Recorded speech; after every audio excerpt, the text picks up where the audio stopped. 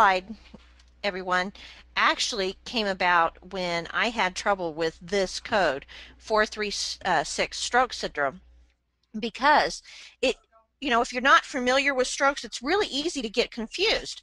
So, real quick, let's go over what stroke syndrome is.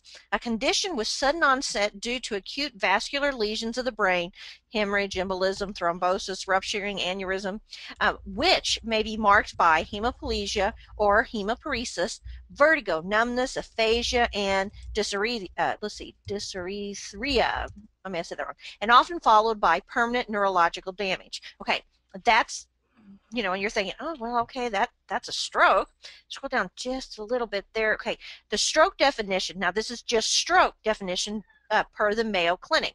A stroke occurs when the blood supply to part of the brain is interrupted or severely reduced, depriving brain tissue of oxygen and food. Within minutes, brain cells begin to die.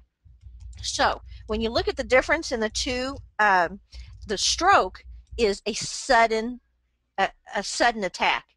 Stroke syndrome is more about what happens to the patient after they've had their stroke, if that makes sense. Okay, so mm-hmm. knowing that, let's scroll down just a little bit and um, I came up with thing 436. When you go in and you pull that out of a out of your uh, code book, that's going to give you a list of things that are ill-defined as far as a, um, a cerebrovascular disease. Now that's different than a cerebrovascular accident because a cerebrovascular accident is acute.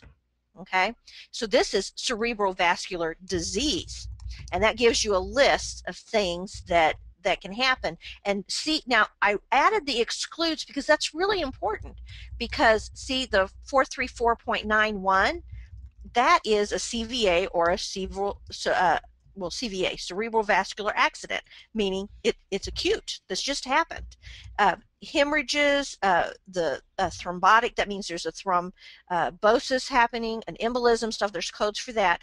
If we scroll down just a little bit more, we can, there's a few more excludes when you're looking for your right code, you really want to research and make sure that there's no underlying excludes in there. Pay attention to the parenthetical, um, the includes and the excludes because one word can make a huge difference in what you're coding. Okay, now if we scroll down just a little bit, we've got um, this great uh, picture that I found from a doctor, and it's a little fuzzy because I enlarged it.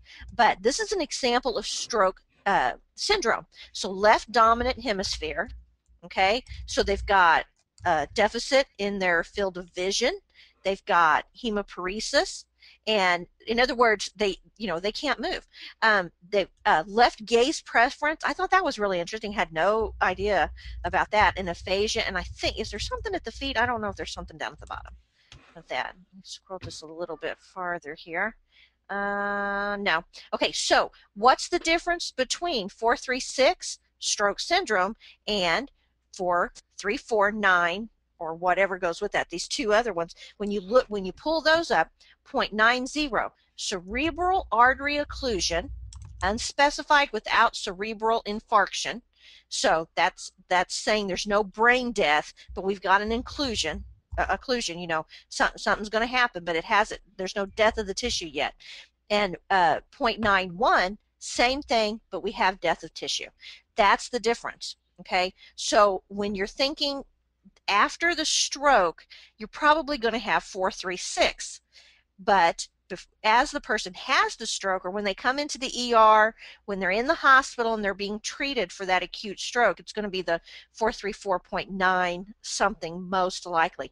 That's the difference. And when you see that coming out, um, the, what you'll see is uh, the 436 is not going to be in an acute setting and that um, so your patient comes in and you're reading the the past uh, medical history and you're seeing these problem lists and stuff uh, eventually the doctor's going to put in their 436 instead of 434.91 if there's a deficit um, that is attributed to the stroke for the patient.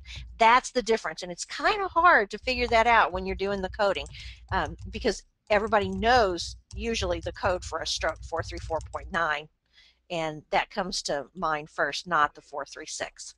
Get more CPC exam tips, coding certification training, and CEU credits. Go to www.codingcertification.org.